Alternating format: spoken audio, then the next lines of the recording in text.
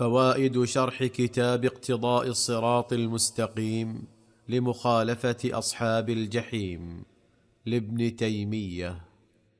قال فلما جاء الإسلام وفتحت الأمصار سكنوا سائر البلاد من أقصى المشرق إلى أقصى المغرب وإلى سواحل الشام وأرمينية. وهذه- لما كانوا في قبل الإسلام محصورين في جزيرة نعم. العرب.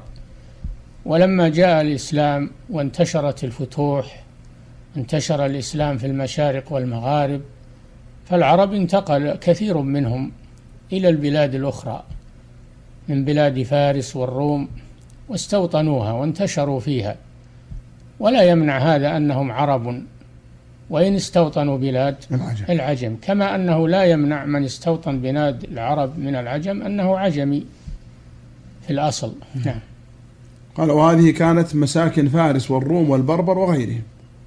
التي هي خارج جزيرة العرب. نعم. ثم انقسمت هذه البلاد قسمين منها ما غلب على أهله لسان العرب حتى لا يعرف عامتهم غيره أو يعرفونه وغيره مع ما دخل في لسان العرب من اللحن وهذه غالب مساكن الشام والعراق ومصر والأندلس ونحو ذلك. وأظن أرض فارس وخراسان كانت هكذا قديما.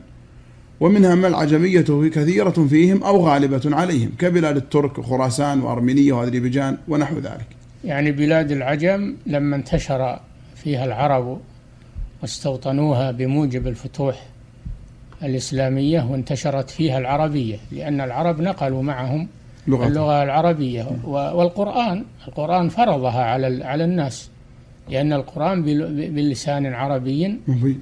مبين. فبلاد العجم بعد ذلك منها ما غلب عليه العربية ومنها ما بقي على عجمته وغلبت عليه العجمية. وإن كانوا مسلمين نعم قال فهذه البقاع انقسمت إلى ما هو عربي ابتداء وإلى ما هو عربي انتقالا وإلى نعم ما هو إلى ما عجمي هو عربي ابتداء وهو جزيرة نعم. العرب وإلى ما هو عربي انتقالا وهو ما سرت إليه العربية من بلاد العجم وإلى ما هو عجمي وإلى ما هو عجمي باق على عجمته وهي بقية بلاد العجم.